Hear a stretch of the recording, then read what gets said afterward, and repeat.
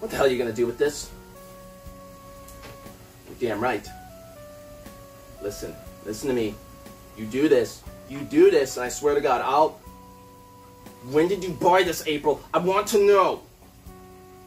That's now, April. Don't I get a say? How can it be for me if the thought makes my stomach turn over? can't have the baby in Paris. All I know is what I feel. And anyone in their right mind would feel the same way. Christ, the fact that you even put it that way, you make it sound like having children is a punishment. And you're sure about that? April, you just said our daughter was a mistake. How do I know you didn't try to get rid of her? Or Michael for that matter? How do I know you didn't try to flush your entire fucking family down the toilet? But how do I know, April? April, a normal woman, a normal sane mother, doesn't buy herself a piece of rubber tubing so she can go live out some goddamn fantasy. What I'm saying is, you don't seem entirely rational about this thing.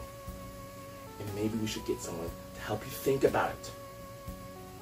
April, if you need a shrink, it'll be paid for, obviously.